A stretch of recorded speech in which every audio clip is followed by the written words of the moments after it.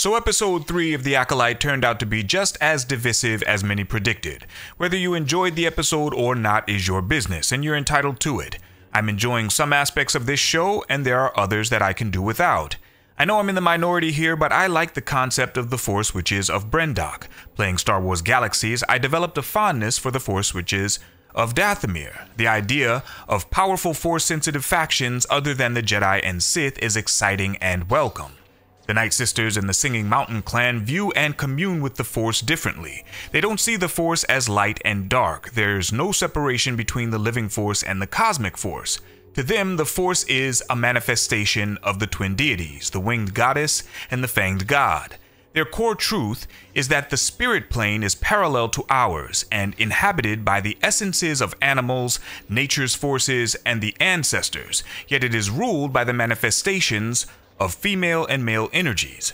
The spirits bestow fertility upon the tribes. They also believe that all magics throughout the galaxy are derived from the daughters of Allya and can be traced back to the life web of Dathomir, meaning the Force Witches of Brendok could have potentially originated on Dathomir. When Mother Aniseya describes the Force as a thread, it further confirms this theory for me because what is a web if not a connection of threads? Now, the controversy in this episode concerns the language used to discuss the conception of the twins, Osha and Mae. Choosing to use the same dialogue from The Phantom Menace when Qui Gon asked Shmi about Anakin's paternity caused some viewers to draw the same conclusion, whether intentional or unintentional on the part of the writers. I don't believe that was the message being portrayed here, but I certainly understand why others do. Qui Gon needed to request the paternity of Anakin because clearly Shmi is not Force sensitive. But the Force Witches are, so leading with the question about the twins' paternity felt contrived and unnatural. That said, the nature of Anakin's conception still remains unique. Whether your source is the Vader comic or the Darth Plagueis novel, Anakin was conceived by the Force itself as a means of balance. Here's an excerpt from the Plagueis novel that explains how Plagueis and Sidious created a shift in the Force to favor the dark side. The question of whether he and Sidious had discovered something new or rediscovered something ancient was beside the point. All that mattered was that almost a decade earlier, they had succeeded in willing the Force to shift and tip irrevocably to the dark side. Not a mere paradigm shift, but a tangible alteration that could be felt by anyone strong in the Force, and whether or not trained in the Sith or Jedi arts. The shift had been the outcome of months of intense meditation during which Plagueis and Sidious had sought to challenge the Force for sovereignty and suffuse the galaxy with the power of the dark side. Brazen and shameless, and at their own mortal peril, they had waged etheric war, anticipating that their own midichlorians, the Force's proxy army, might marshal to boil their blood or stop the beating of their hearts. Risen out of themselves, discorporate and as a single entity, they had brought the power of their will to bear, asserting their sovereignty over the Force. No counterforce had been risen against them. In what amounted to a state of rapture, they knew that the Force had yielded, as if some deity had been tipped from its throne. On the fulcrum they had fashioned, the light side had dipped, and the dark side had ascended. This next passage, also from the Plagueis novel, confirms that neither Plagueis nor Sidious created Anakin.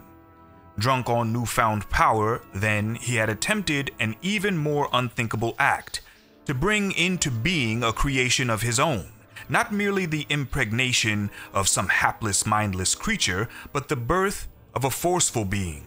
The ability to dominate death had been a step in the right direction, but it wasn't equivalent to pure creation and so he had stretched out, indeed, as if invisible, transubstantiated to inform every being of his existence and impact all of them, munoid or insectoid, secure or dispossessed, free or enslaved, a warrior waving a banner in triumph on a battlefield, a ghost infiltrating a dream, but ultimately to no end.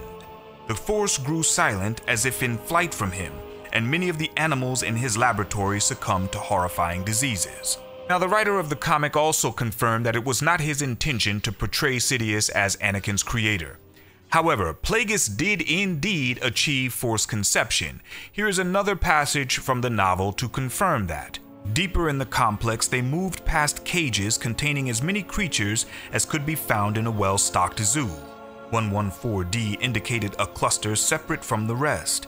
These are the Magister's most recent pregnancies. The Magister's? Sidious repeated in bewilderment. His success rate has improved. Sidious was still trying to make sense of the droid's statement when they entered a long corridor lined with windowless cells. Through the force, he could sense life forms behind each locked door. Captives? Oh no, sir, 114D said. Ongoing experiments. What did the droid mean when it said the Magister's pregnancies? Beneath the breath mask, Plagueis might have quirked a smile. It means that the pregnancies were not achieved by normal means of conception, but rather through the Force. Surprise and disbelief mingled in Sidious's blue eyes. The Force? Yes, Plagueis said pensively but I fail to excise due caution. As we attempt to wrest the powers of life and death from the Force, as we seek to tip the balance, the Force resists our efforts. Action and reaction, Sidious. Something akin to the laws of thermodynamics. I have been audacious, and the Force has tested me the way Tenebrous sought to. Midichlorians are not easily persuaded to execute the dictates of one newly initiated in the mysteries. The Force needs to be won over, especially in work that involves the dark side. It might be reassured that a Sith is capable of accepting authority, otherwise, it will thwart one's intentions. It will engineer misfortune. It will strike back. Force witches deal entirely in Force sorcery, which is only considered a discipline for the Sith and one that they can't all even excel in. Darth Bane, for example. The Force conception Plagueis was trying to achieve was practiced through Sith sorcery. To think it inconceivable that a Force Witch dealing only in Force sorcery could achieve this feat is short-sighted at best. The unique conception of Anakin Skywalker remains intact. Ultimately, we've yet to hear the truth of it all, and it may wind up being ridiculous. But I would just love to get back to having nerdy debates rather than all this goddamn hate.